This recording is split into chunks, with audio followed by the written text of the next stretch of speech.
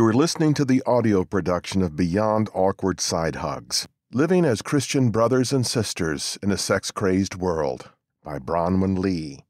Published by Thomas Nelson and read by Dr. Simona Chitescu Weik. Foreword by Christine Caine. I was the first woman ever to be appointed as the state director of our denomination's youth movement. It was the mid 1990s, and I was in my late 20s at the time. I felt so honored and excited. I was full of vision, passion, and determination. I wanted nothing more than to reach unchurched Australian students with the gospel. I looked forward to working with our National Youth Executive Team to see this dream come to pass. When I went to the first national meeting of all the state directors, I was ready to contribute, to listen, to pray, and to plan our strategy together. But, as I had always found at most every leadership gathering, I was the only woman at the table. And this time, it was a table full of married men, and I was a single woman. These were godly men, committed to the young people in their home states, but they had never sat at a decision making table where a woman was present. And I do mean never.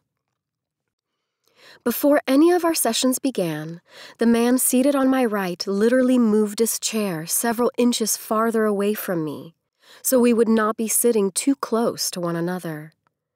He didn't seem to mind that this meant he was virtually sitting on the lap of the state director seated on his other side. Another man did not even make eye contact with me, not once. Still another awkwardly shook my hand, but only for a brief second. And one man barely spoke during the meeting because, as I later found out, he felt weird that there was a woman even in the room. A woman who was not a secretary, but a peer in every way. He said to one of our colleagues, I don't know how to talk to a woman who is not my wife. I don't want to be tempted and fall into sin. When someone later told me what he said, I was absolutely flabbergasted. I had not even considered such a possibility. I was at the table to talk about youth ministry, about all of the plans and dreams we each had for reaching the lost and the unchurched in our states. I was not there to find a husband, especially if he was already someone else's husband. I'm not sure what the man thought would happen if we had a conversation, but I can assure you I wouldn't have been tempted in any way and fallen into sin. These men were the leaders of the next generation, and this was my first encounter with the challenges of living and working faithfully as Christian brothers and sisters in Christ. If we, as leaders in the church, could not get it right working together, what hope did the next generation have? For the next seven years, I served as a state director, and in all those years, none of these men ever got in a car with me unless there were several of them together. I was never invited to any post meeting social gatherings, all because I was a woman and single. To be faithful to the call of God meant that I was excluded from interactions that were vital to the work we were doing. I feel sure none of them ever considered the isolation or pain I felt at being excluded, and no one ever talked about the underlying assumptions that allowed this dysfunctional behavior to thrive. At that time, there was very little I could do about it, but despite all the awkwardness and exclusion, I chose to stay in the system so I could hopefully change some things for the young women coming after me. For the young women who were also called by God and who wanted to be in ministry.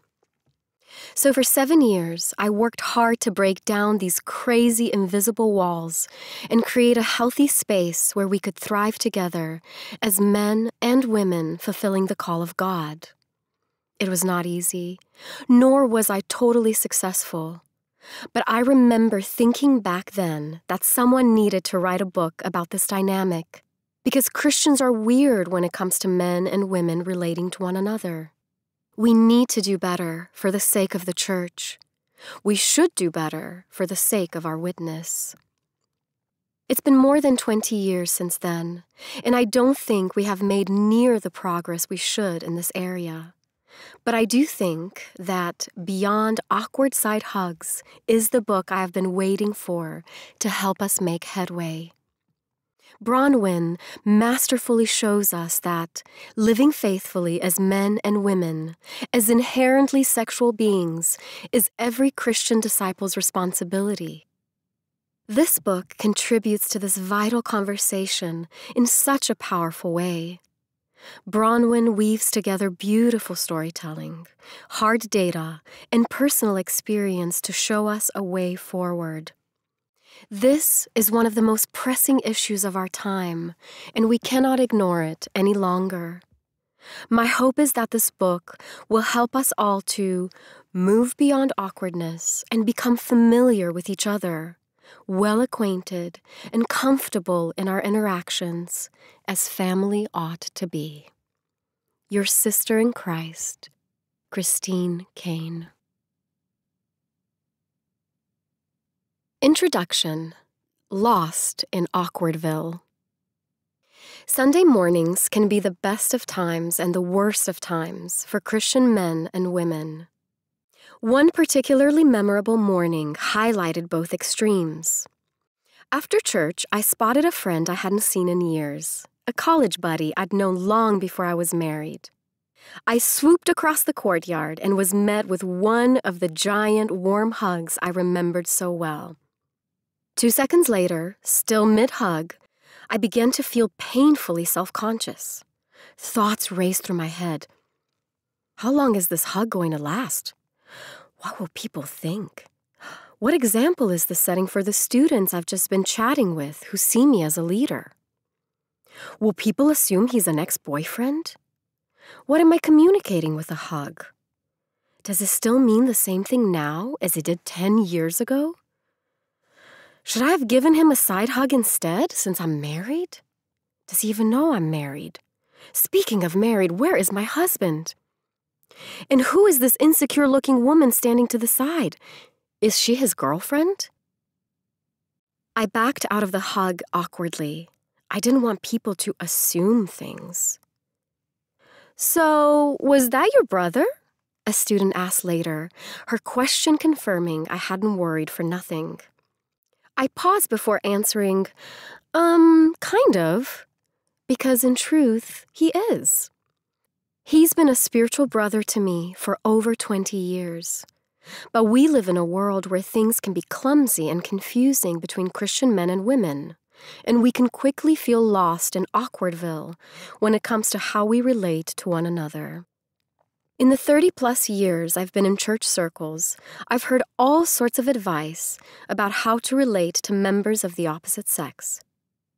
For the most part, this advice has consisted of the don't have sex until you're married warnings for singles and only have sex with your spouse for marrieds.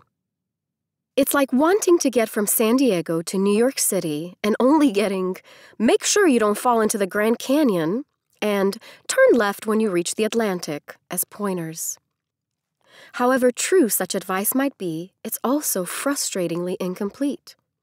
The question, when and with whom can I have sex, is a fundamentally different one from, how can Christian men and women be in healthy relationships? As someone who's spent years in pastoral ministry, I've fielded my fair share of tricky sex related questions.